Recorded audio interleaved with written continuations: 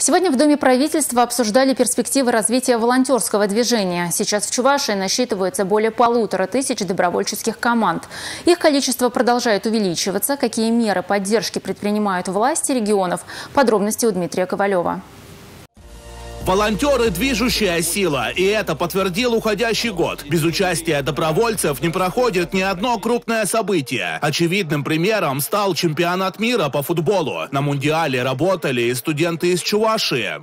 Наши студенты участвовали и в Мордовии, и в Татарстане, и в Москве, и в других городах. Молодежь на самом деле целеустремленная, хочет добиться этой жизни через инструменты института самореализации – и занять достойное место.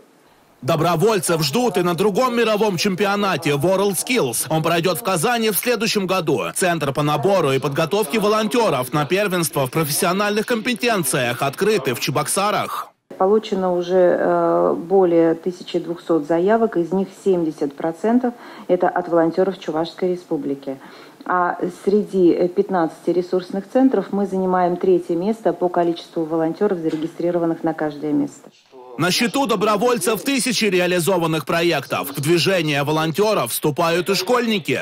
Один из учащихся школ из села Тарханы придумал интересный проект по сбору, утилизации неиспользованных батареек. А деньги отправили в наш марафон, который ежегодно проводит Чувашская республика, имя детства во имя детства. Увеличивается количество регистрированных волонтерских объединений. На сегодняшний день в Чувашской республике их насчитывается 7.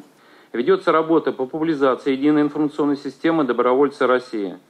На сегодняшний день в системе зарегистрировано более 220 объединений и более 3400 добровольцев.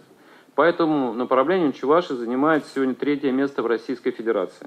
Пополняются ряды волонтеров-медиков. Добровольцы проводят лекции для школьников, обучают оказывать первую медпомощь, ухаживают за больными. Мы делаем основной упор на санитарно-профилактическое просвещение населения.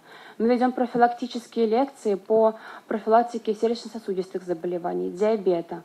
Ведем пропаганду здорового образа жизни и отказа от курения табака и электронных сигарет.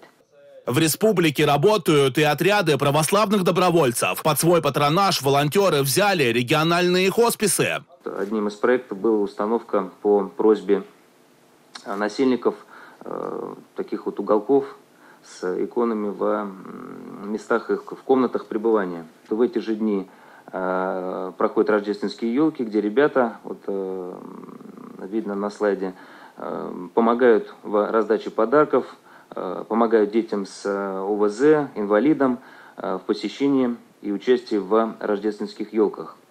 Большую работу проводят и поисковики. Сейчас в республике порядка 40 отрядов. Нашими отрядами подняты останки 45 советских воинов. В этом году наиболее яркими были экспедиции в Севастополь, на побережье Баренцева моря, на полуострова Рыбачий, Средний, Новгородск, Ленинградской, Тверской области – на хребте Муса-Тунтуре э, Мурманской области значит, мы установили два э, памятника, вернее, памятные плиты на местах подвигов наших земляков Чебоксарца Юрия Колпинского и уроженца Енетинского района Семена Орешникова.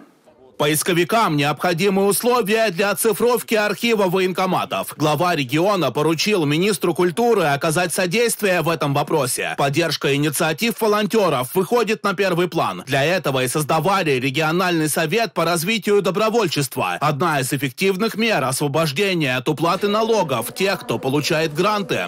Также налогом не облагаются выплаты в денежной или натуральной форме, полученные на возмещение понесенных волонтерами расходов ходе благотворительной деятельности.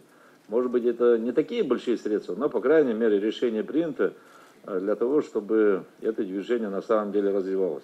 То есть это движение дает дополнительные стимулы для того, чтобы наши молодые люди сплачивались, и неиссякаемая энергия была направлена только на добрые дела. Развитие добровольчества теперь и часть национального проекта. Обсуждать инициативы волонтеров члены Совета продолжат и в следующем году. Дмитрий Ковалев и Валерий Резюков. Республика.